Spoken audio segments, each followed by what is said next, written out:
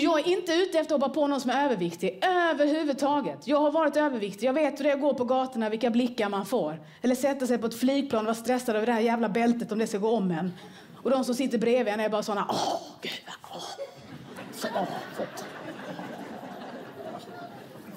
Eller gå till läkaren för att man har ont i knäna och läkaren säger så här, om man går ner 30-35 kilo. Ska du se att de där knäna blir bra, så där. Jag går ner de kilona, blir mina knän bra? Nej, det hade ingenting med det att göra. Nej. Och då kanske någon tänker så, ja men då är det så att om man är överviktig då är man ju sockerberoende. Det är typ det jag har sagt hela tiden.